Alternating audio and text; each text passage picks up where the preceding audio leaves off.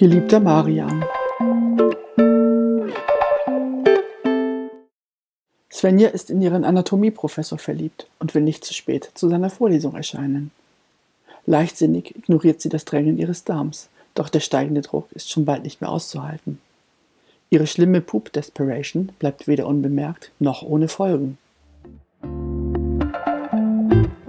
Diese und noch viele lustvolle Geschichten mehr findest du frei zum Lesen auf unserer Homepage edition-aurum.de.